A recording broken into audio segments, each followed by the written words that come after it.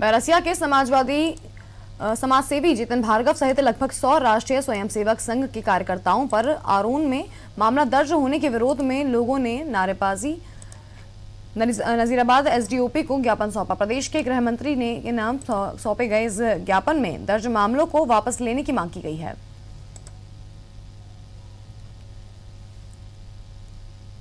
आरोन में मास्क वितरण व सैनिटाइजर वितरण के दौरान जो आरोन थाना में जो एफआईआर की गई थी, उसके उपलक्ष्य में आज हमने एसडीओपी महोदय द्वारा गृह मंत्री जी को ज्ञापन सौंपा है।